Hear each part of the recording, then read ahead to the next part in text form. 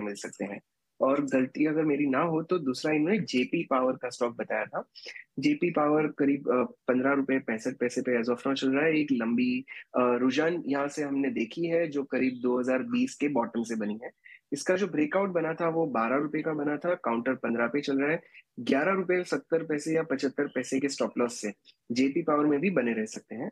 I think इस counter में अगर हमें सत्रह के ऊपर के लेवल्स देखने मिलते हैं तो तेईस तक के लक्ष्य भी आने मिल सकते हैं। सो so, दोनों काउंटर में एज ऑफ़ नाउ बने रहे और जिस तरह से सपोर्ट बताया है उसी को ध्यान में रखते हुए अपनी पोजिशन होल्ड करें। अगला सवाल लेते हैं।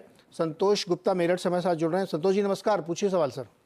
नमस्कार सर। जी। जेपी पावर का दो रुपये अस्सी पैसे पे एक हज़ार शेयर है मेरे पास और मैं इसे पाँच से दस साल रख सकता हूँ। तो मैं ये चाहता हूँ कि क्या इसे रखा जा सकता है या नहीं?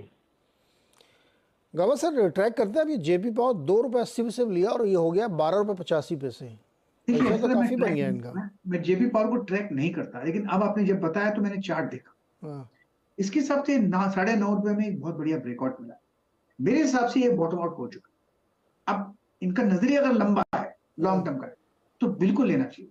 लेकिन फिर लेने के बाद आज कल में ही देखना चाहिए, अभी क्यों हुआ, दस मिनट के बाद देखिए क्या हुआ, एक दिन के बाद देखिए वैसा नहीं होगा। थोड़ा रखड़ाएगा अभी लेकिन अब नीचे भी आएगा तो ऊपर जाने के लिए आएगा। तो ये स्टॉक जेपी पावर में मेरे ख्याल से ध्यान देना चाहिए ऑन ओके संतोष जी संतोष जी, हज़ार शेयर लिए थे आपने?